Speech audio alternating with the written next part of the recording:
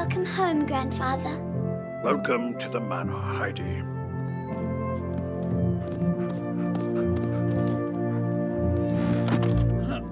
Watch out, Johan! Don't damage it! There, there, a little to the left. That's it. Teresa!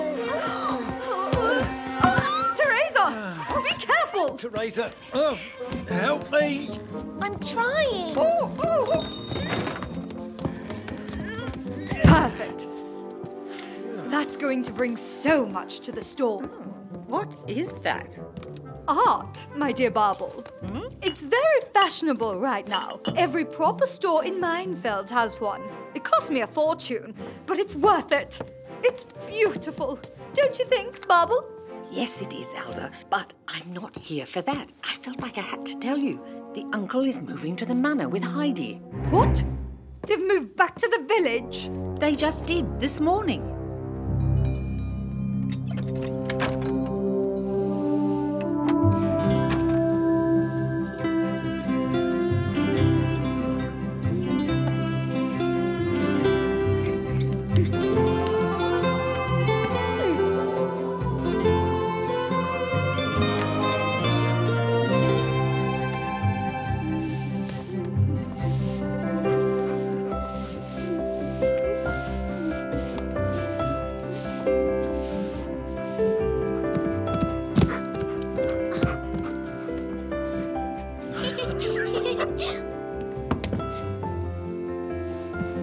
Grandfather, it's such a nice place.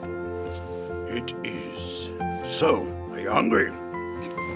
I'm starving. Before we settle and eat, let's get some groceries, shall we?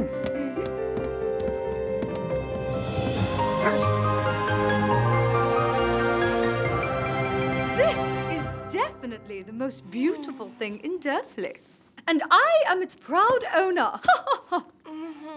Come on, Johan. We don't want to be late. Here I am.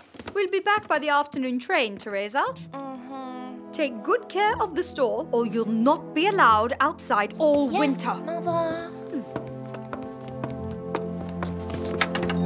Hmm.